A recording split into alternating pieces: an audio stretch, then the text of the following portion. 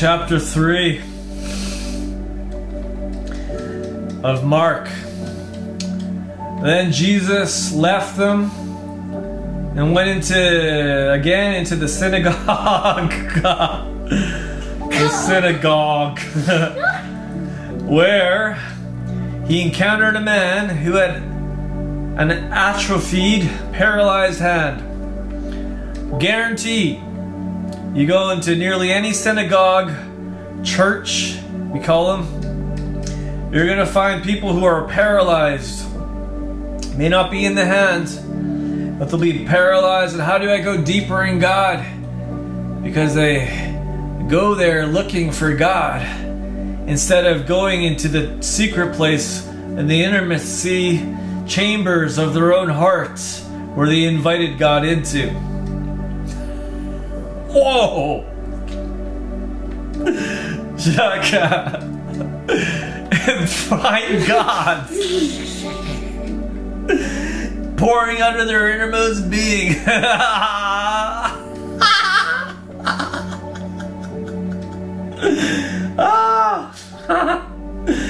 oh!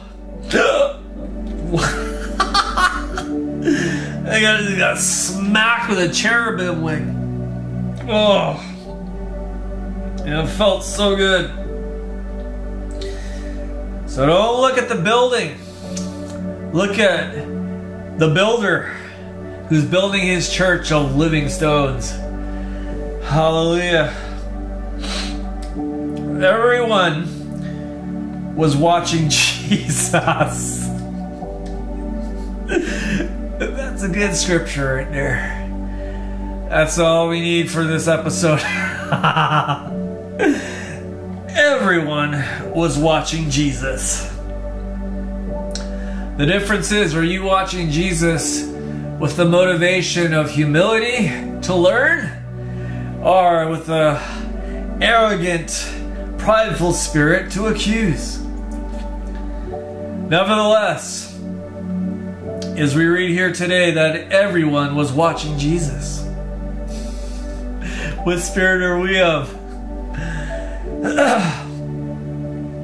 Closely to see if he would heal the man on the Sabbath,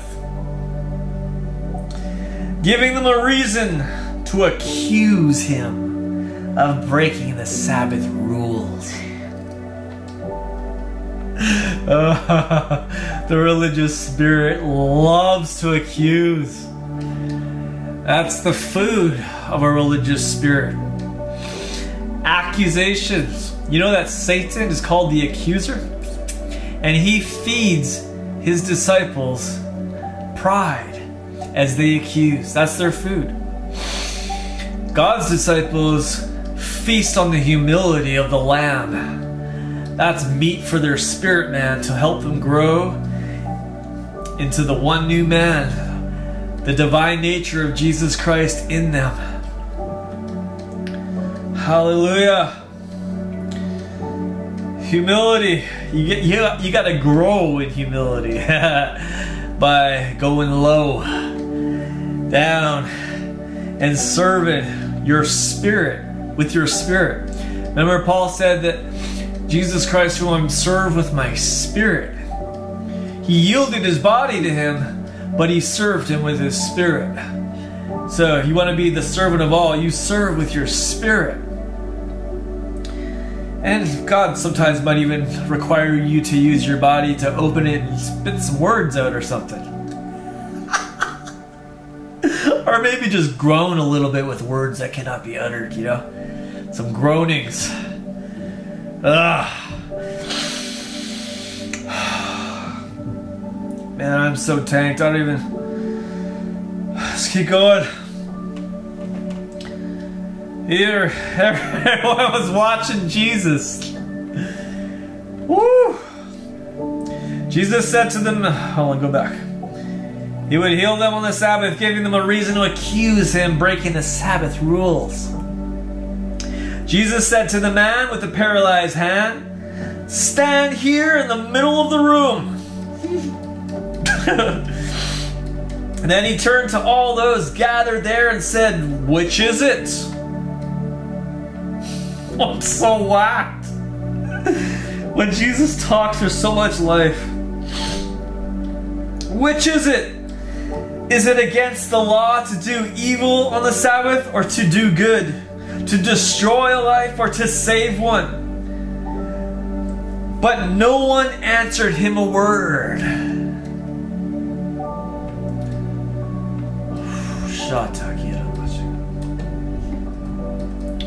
I hope you guys can feel this more than hearing it. it's like caramel juices squirting everywhere. oh my godness. Thank you, Shata.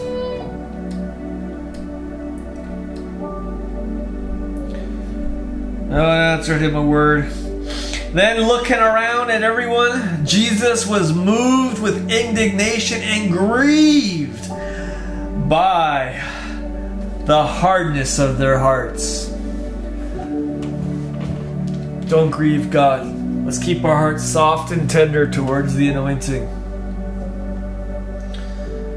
And said to the man, Now stretch out your hand. As he stretched out his hand, it was completely healed. I need an atmosphere before I can walk in healing. There's too much unbelief here.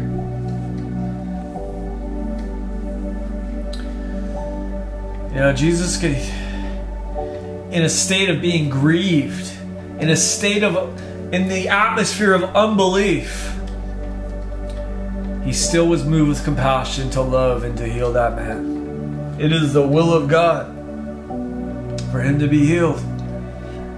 Many of us are that paralyzed man. We just can't go forward anymore. It is the will of God for us to stretch forth in obedience to His word and be healed. To do things that we cannot do in our own strength, but by the strength of His word. After this happened, the Pharisees left abruptly and began to plot together with the friends and supporters of Herod Antipas, Antipas on how they would kill Jesus. There's another fruit of the religious spirit. Debates, criticisms, accusations, murder, even if it's just using their words, or physically, like we've seen in the religious church in the 1500s who would murder people, anybody who would begin to walk in the Spirit. Oh, there's an anointing on your wife, on your life? I mean, you must be a witch. Let's burn them at the stake. What do you mean you're not going to follow our rules? Grab our grab your rosary and pray. What do you mean? Don't make repetitious prayers. Burn him, he's a witch. you ain't gonna use our beads, our traditions of men. He's a, he's got to be a witch.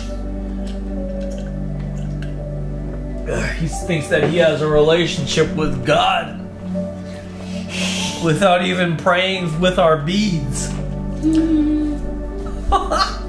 our necklace. our noose. That's what a necklace thing is.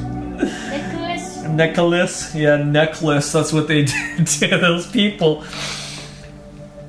who broke the chains and shackles of religion called the rosary off of them. They didn't want to pray to Mary anymore. They wanted to pray to the Father in the name of Jesus. They didn't want to make repetitious prayers anymore like religion taught them. They wanted to pray the way Jesus taught them. When you pray, say, Our Father which art in heaven, holy is your name. God, let your kingdom come and your will be done on earth.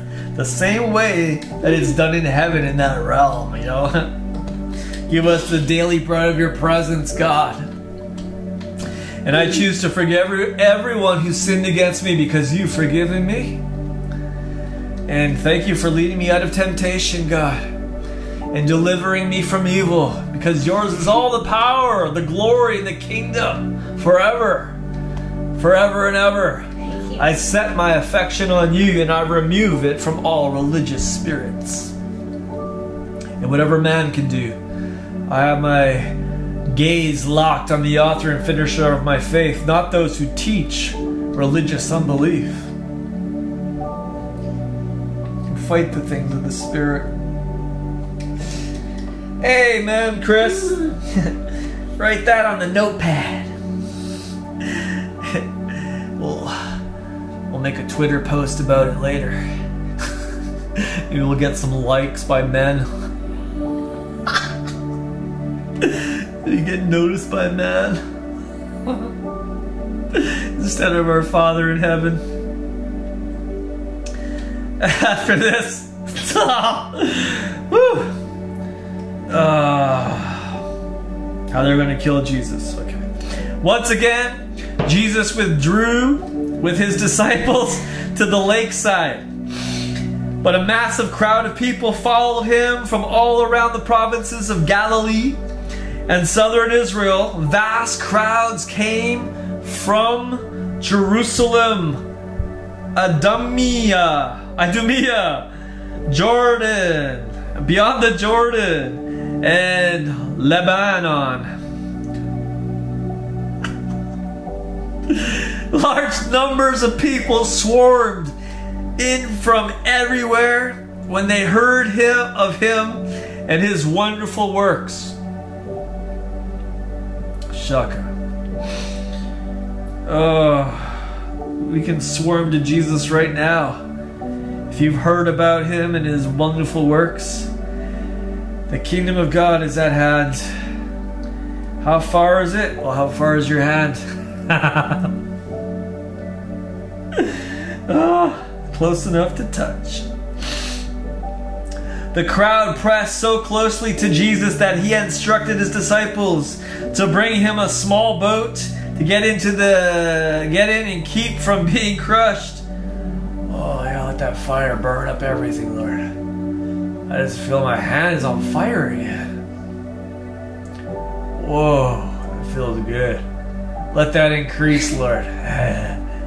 With the coals. I'm copying you. From the, your copy? Yeah, just fire. Say, fire of God in Jesus' name. Uh, I'm so tanked right now. Where are we? Oh, the crowd pressed so closely to Jesus that he instructed his disciples to, to bring him a small boat to get into the ship from being crushed by the crowd. For he had healed so many that the sick kept pushing forward just so that they could touch Jesus.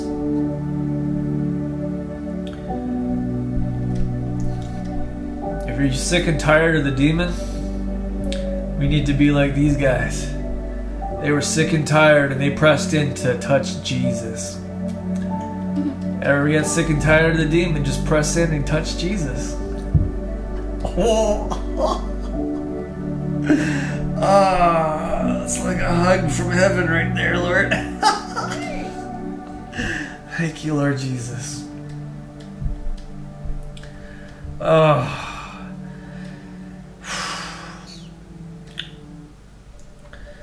I might just have to lay down for a bit. Okay, okay. Okay.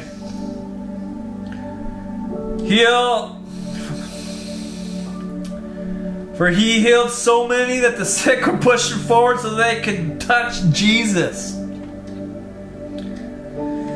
And uh, whenever a demon saw him, it would throw a person down at Jesus' feet, screaming out, You are the Son of God.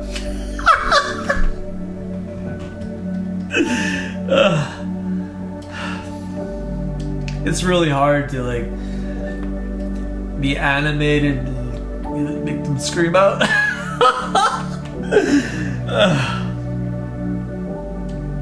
my gosh. You are the Son of God. but Jesus would silence the demons and sternly order, order them not to reveal who he was. Why? Because that's our job. Religious demons have been trying to reveal who Jesus was for years. Doesn't work that way.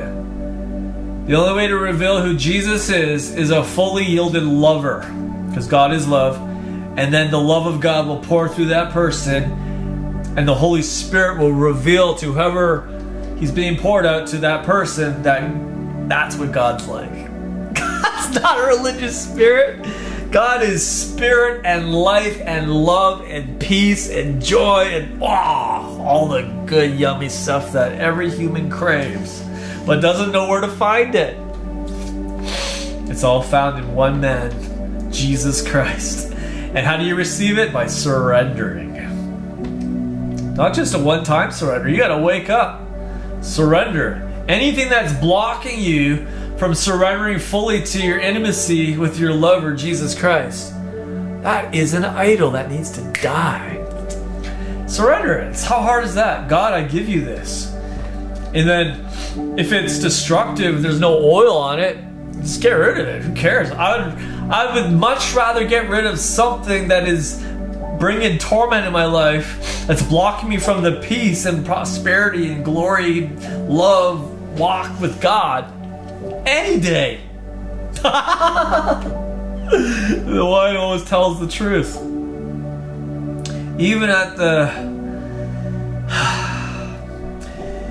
even in the face of angry religious spirits who just want to murder you, still tells the truth by the Spirit. Where are we? Okay. Whenever demons saw it, throw it. Okay, screaming out. Son of God. But Jesus would silence the demons and sternly order them not to reveal who he was. That's your job. That's my job. The greatest revealers are the ones who have surrendered everything to the Holy Ghost. He's the one who reveals Jesus. Afterward, Jesus went up on a mountainside and called to himself Man, I'm getting so blasted off of those words. They're like alive with like honey and caramel. Man, his word is so good. Afterward, Jesus went up, went up, up, up, up. You want to go meet with Jesus? Go up, up, up, up onto a mountainside and called to himself the men he wanted to be his close companions. Whoa, so they went up the mountainside to join him. How about to be joined to him? one spirit, one mind, one accord. Whoa. you want to be joined to Jesus? Go up into the mountain of the Lord, Mount Zion. He's waiting there for you in your spirit, man. Kingdom of God's within you. And within the kingdom of God, there's a mountain there. There's a tree of life there, too.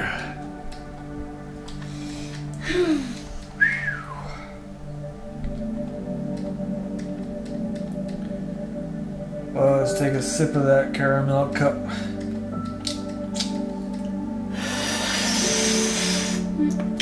Oh, ho, ho, ho. No. yes. Oh. I'm so tanked right now. Where are we?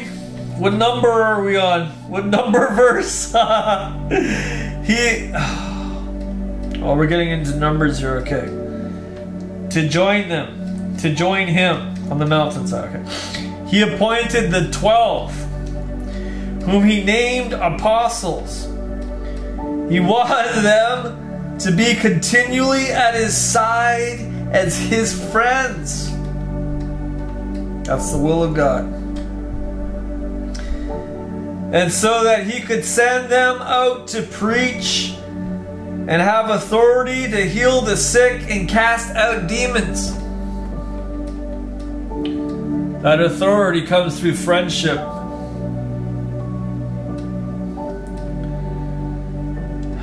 He appointed his twelve and gave Simon the nickname Peter, the Rock. What an honor to be called the Rock. You know, to know the rock of rocks, you know?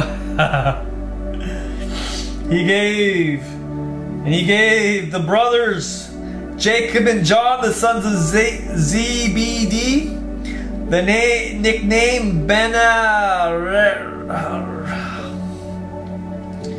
Rega, which means passionate sons.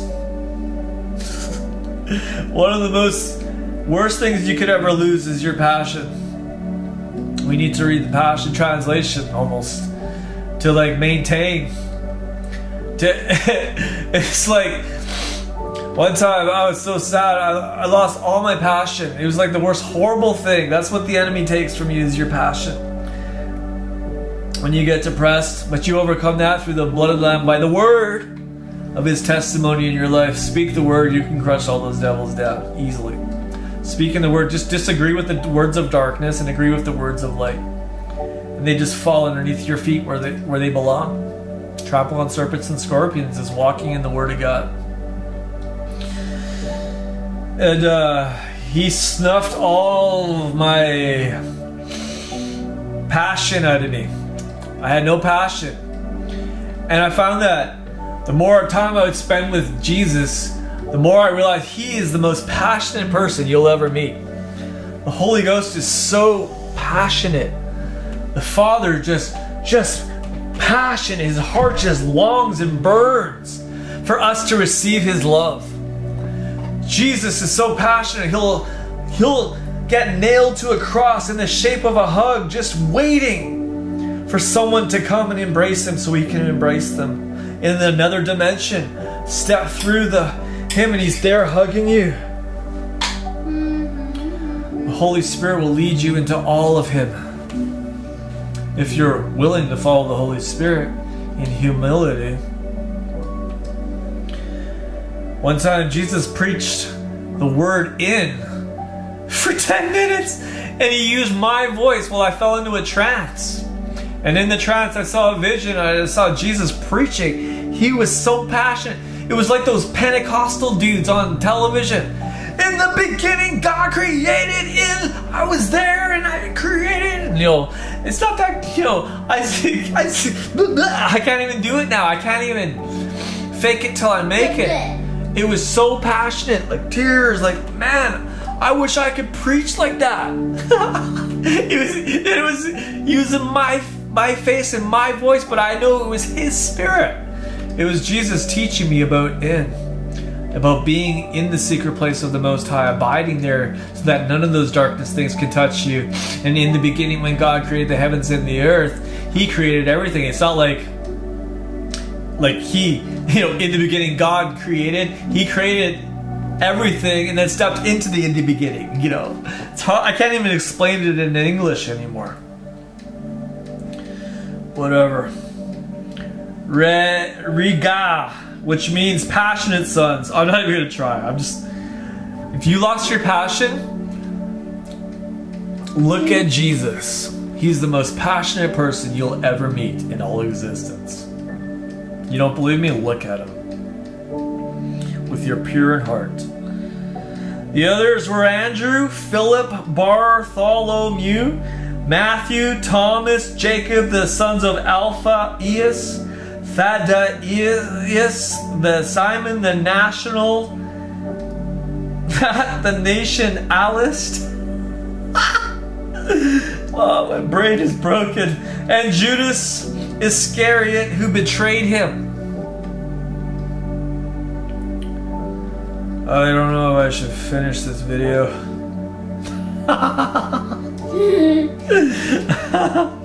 Let's just read it. Let's. uh, then Jesus went home. That's what it says.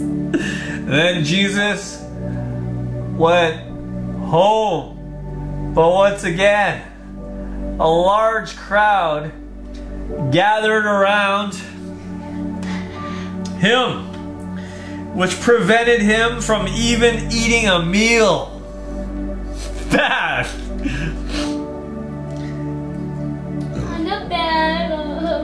When his own family heard that he was there, they went out to seize him. they said, He's insane.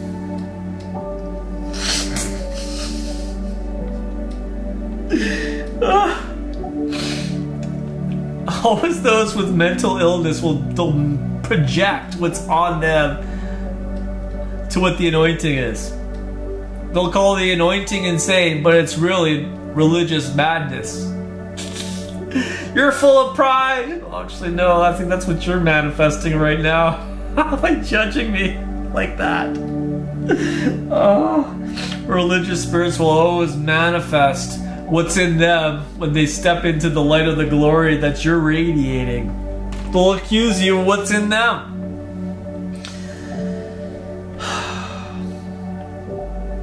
He's insane. the religious scholars. Oh, this, this book is so good. the religious scholars. Scholars. The school R's who arrived from Jerusalem were saying, Satan has possessed him. But so true. Satan has possessed him. He casts out demons by the authority of the prince of demons. Jesus called them to himself and spoke to them using parables. Why? Because only those with humility can basically, with who have the true spirit of the fear of the Lord, can begin to walk in wisdom. And wisdom can interpret parables, not human understanding. Wisdom, the spirit of wisdom, and revelation go together revelation reveals the parables, but you need wisdom and revelation to even begin to walk in this. But you need the fear of the Lord, which is pure. And you need a pure life to even have that. Hallelujah. Oh my gosh. Okay. Where am I? House. Oh, Jesus called them to himself and spoke to them using parables. Okay, I'm gonna do my best just to get through this. We're running out of time. How Satan? How can Satan cast out Satan? No kingdom can endure if it is divided against itself. And a splintered house will not be able to stand, for it is divided. And if Satan fights against himself, he will not endure. And his end has come.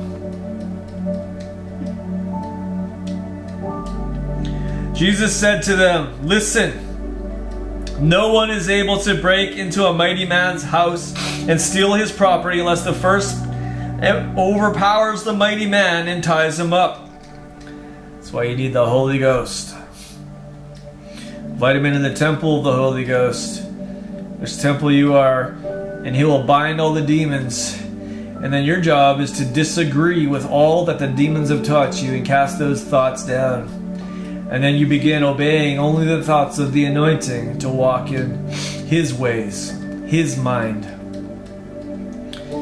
And that's when you begin walking as an overcomer. You overcome by the word of His testimony, by the precious blood of Jesus who got you there, and by the word of God. The word, oh, I can't even shut up. I don't know if I'll be able to make a fourth video today. I'm a little Maybe I'll just make another video of groaning.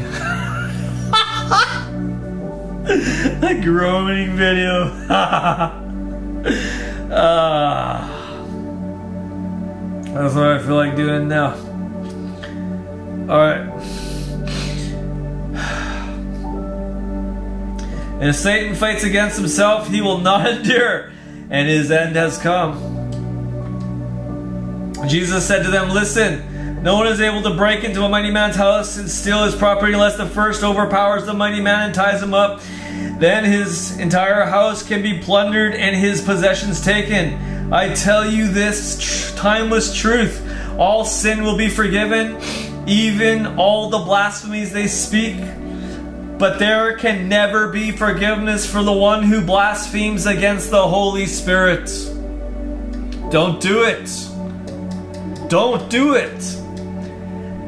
Don't say tongues is of the devil when someone's praying in tongues. It's not worth it. Religious pride is not worth it. Losing your salvation, even if you're once saved, always saved. Let's read what Jesus says. All sin will be forgiven, even all the blasphemies. All sin? But there can never be forgiveness for the one who blasphemes against the Holy Spirit. Wake up! For he is guilty of an eternal sin. This is because they said he was empowered by a demon spirit. So it's the same thing. If someone says you're empowered by a demon spirit, who are they blaspheming? When it's really the Holy Spirit working through you.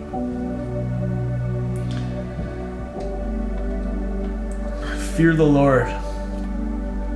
May the spirit of the fear of the Lord strike everybody, including myself, and then let it increase tenfold.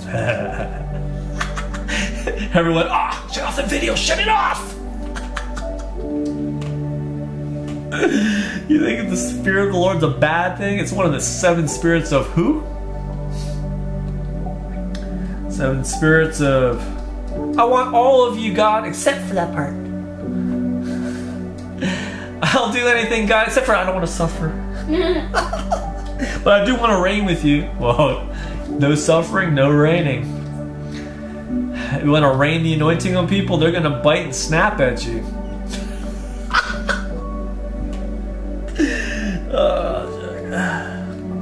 They're going to accuse you of what's in them. You got to remain humble. Ah. What is it to remain humble? You got to stay really high, in the most high, so that you don't fall down under the opinions of men. Fully dependent upon the Holy Spirit, not dependent upon the opinions of men apart from the Spirit. Even if they say they're Christian. If there's no Christ in their in, then what makes them Christian? I'm not Christian. You're not Christian, you're a Christian. Christ like one. Full of Christ's spirit. That's what, ma- that's what makes you a Christian, not full of opinions. This is because they said he's empowered by a demon spirit. Okay, then Jesus' mother and his brothers came and stood outside and sent a message to him asking that he come out and speak with them. When the crowd sitting around Jesus heard this, they spoke up and said to him, Jesus, your mother and brothers are outside looking for you. We gotta finish. he answered them, saying, Who is my true mother and my true brothers? Those who said a sinner's prayer. But still live for themselves?